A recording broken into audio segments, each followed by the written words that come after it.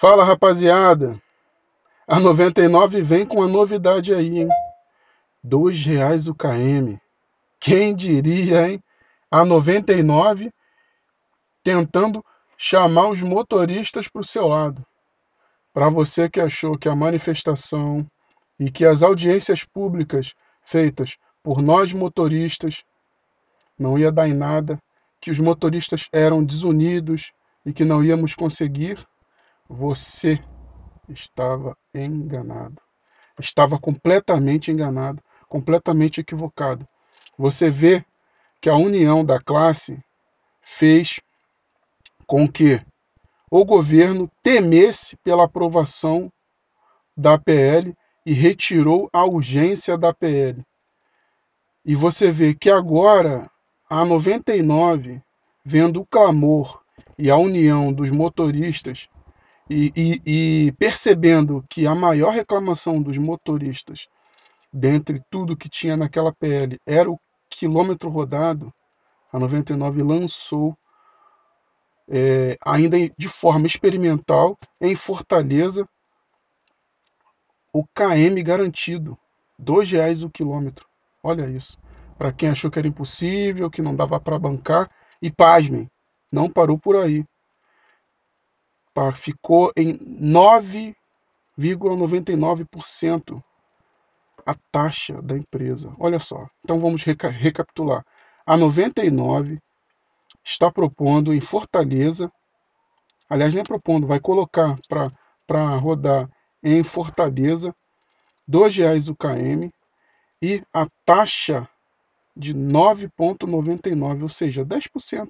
Tudo aquilo que a gente estava reivindicando nessa PL aí, é, que queria o quilômetro rodado e taxa fixa, a 99, que já, que já tinha taxa de, de 19%, agora vai baixar em, em caráter experimental em Fortaleza para 9,99%, ou seja, 10%. Ou seja, a 99 está tentando andar na contramão do que a Uber está querendo propor e empurrar a goela abaixo é, dos motoristas. Ou seja, é uma grande jogada da, da 99 para atrair os motoristas e nós motoristas devemos sim entrar nessa onda da 99. Espero que a galera de, de Fortaleza abrace com força essa essa causa da, da, da, da 99, porque mexe nos ganhos do motorista, entendeu? Tomara que lá a, a galera de Fortaleza represente toda a categoria e migre para o aplicativo da 99, porque os motoristas migrando para o aplicativo da 99, que vai estar tá pagando mais, mas ele vai forçar a Uber também ir para a mesma onda da 99. Porque hoje a Uber canta de galo é, com relação a nós motoristas, porque ela entende que é a empresa master né, para os motoristas, que a maioria dos, dos motoristas preferem trabalhar pela Uber, e a partir daí ela está criando um monopólio. Tipo assim, vem comigo quem quiser vir, fica comigo quem quiser ficar. E não é assim. Não é assim. Não existe plataforma de mobilidade sem motorista. Pode ter o passageiro, mas sem motorista não existe. Como não existe plataforma de mobilidade sem o passageiro. Então, assim, o que faz o motorista ir para aquela plataforma é o passageiro. Além dos ganhos. E quem faz os passageiros ir para aquela plataforma também é o motorista. Não adianta a plataforma ter passageiros se não tiver motorista. E, obviamente, a plataforma pode ter passageiro. E não havendo motorista, ela vai migrar para a plataforma que tiver motorista. Não importando assim por completo o valor. O valor importa para o passageiro e para os motoristas, sem hipocrisia.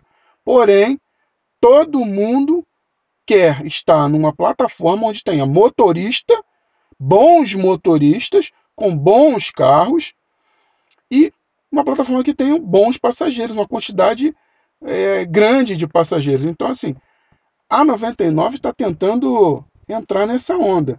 Se eu trouxer o motorista para o meu lado, automaticamente eu vou trazer o passageiro. entendeu? Está andando na contramão da Uber. A Uber já sabe que ela tem o passageiro. Então ela força o motorista a aceitar o que ela quer. A 99 já está entendendo ao contrário, que a plataforma que tiver motorista vai ter o passageiro. E é verdade. E é verdade. É um bom raciocínio. Então, a 99 está fazendo o teste lá em Fortaleza, né, do quilômetro garantido, R$ reais o quilômetro rodado e taxa de 99%. Aliás, minto, taxa de 9,99%. Entendeu? Ou seja, vai atrair bastante motoristas. Eu acho que lá vai ser sucesso. E eu espero que seja sucesso mesmo lá e que a 99 espalhe isso pelo Brasil todo e chegue aqui no Rio de Janeiro também. Também, porque uma vez que é sucesso em fase de teste lá, vai ser, pode ser sucesso no Brasil todo. Aliás, vai ser sucesso no Brasil todo, porque nós estamos brigando por ganhos. Então, a plataforma que ofertar ganhos maiores para o motorista, né, a, a, aliada à segurança, que é um, uma parte que nós motoristas reclamávamos da 99, era, era a questão da segurança. E a 99, ela, ela investiu pesado na segurança, mostrando para o motorista a quantidade de corridas daquele passageiro, que é importante na decisão do motorista na hora de escolher entre uma corrida e outra.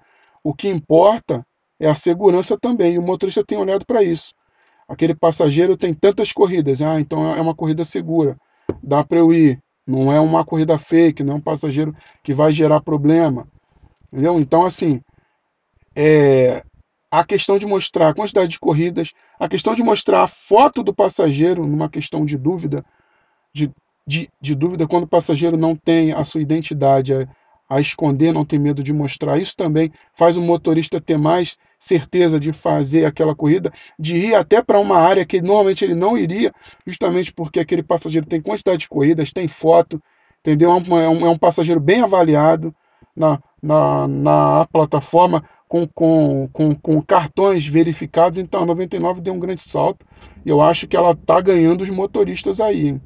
Acho que vai ser sucesso, porque na questão de segurança ela está top, top. A questão de segurança está melhor do que a Uber. Acho que a Uber tinha que rever também essa questão de colocar a foto do passageiro, mostrar a quantidade de corridas também, copiar o que é bom e o que é positivo, uma da outra.